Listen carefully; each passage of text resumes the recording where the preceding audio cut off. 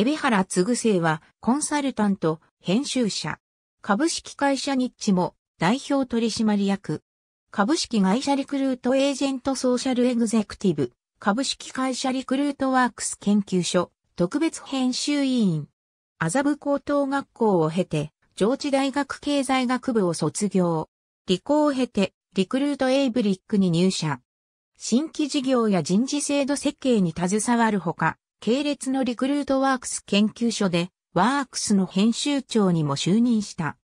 2008年に HR コンサルティング会社、ニッチモを立ち上げ、代表取締役に就任すると同時に、リクルートエージェントの第1号フェロー社員となり、人事経営雑誌、ミックスの編集長になる。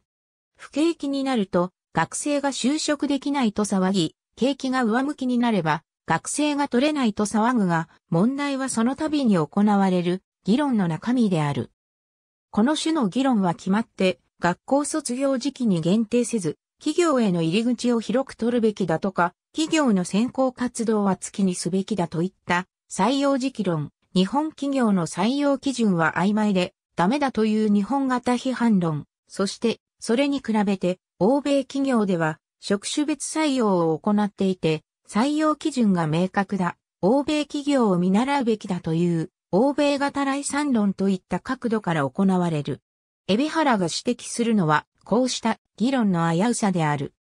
お祈りメール来た日本史ね新卒一括採用と雇用システムでは、日本企業の採用の問題を制度的補完性の点から議論されなければならないという立場と、安易な欧米型来産や表面的な模倣の中に日本の課題の処方箋はないという立場である。